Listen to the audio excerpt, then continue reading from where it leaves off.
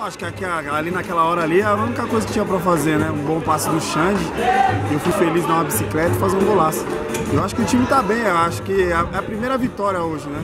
O time tá criando corpo ainda, tá se conhecendo, eu acho que agora engrena. Agora tá, a gente tem tudo pra, pra classificar. Foi seu primeiro gol na competição? Foi o primeiro gol. O mais bonito da sua carreira ou não?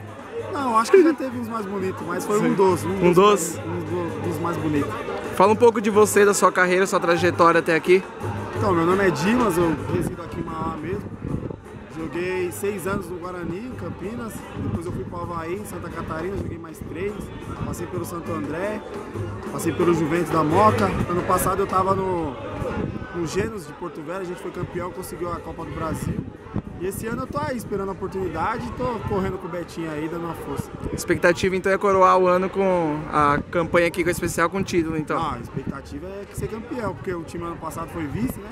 Acho que esse ano, com as peças que chegou, a gente se conhecendo, dando uma entrosada melhor, acho que o time vai, ser, vai sair campeão.